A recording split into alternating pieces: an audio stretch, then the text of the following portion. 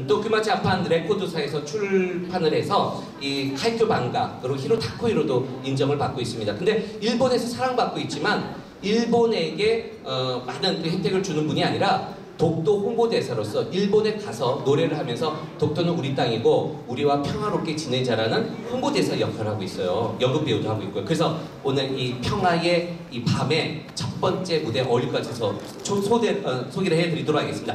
가수 이혜령님을 모시도록 하겠습니다. 네, 여러분 따뜻한 박수 보내주시기 바랍니다.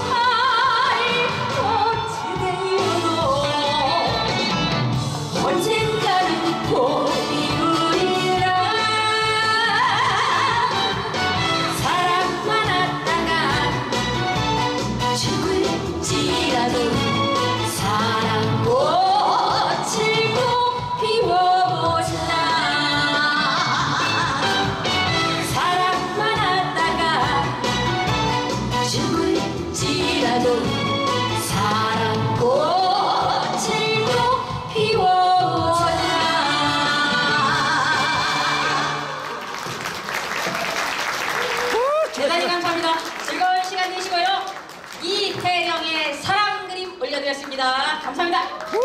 네, 우리 이혜령 가수 앞으로도 독도를 지켜주시고요. 일본에 가서도 그 유창한 일본어로 우리 한국의 아름다움을 전달해 주시기 바랍니다. 자,